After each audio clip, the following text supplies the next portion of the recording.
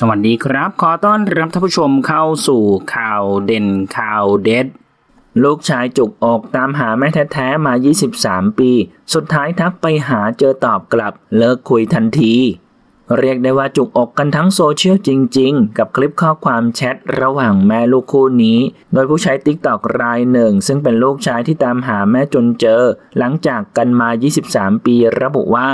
ครั้งหนึ่งผมก็เหมือนกับคนที่พ่อแม่แยกทางกันแหละครับ เคยตามหาจนเจอ จากกันไปตั้งแต่ผมอายุ 2 เดือน บางครั้งการทดแทนบุญคุณไม่จำเป็นต้องเป็นคนที่ให้ชีวิตเรา ซึ่งในภาพข้อความแชทเผยให้เห็นบทสนทนาที่เริ่มต้นด้วยคำว่าแม่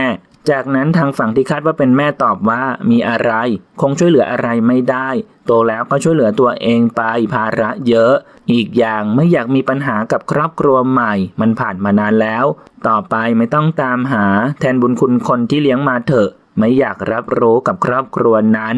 ซึ่งในแชทข้อความสุดท้ายก็ได้ตอบว่าโอเค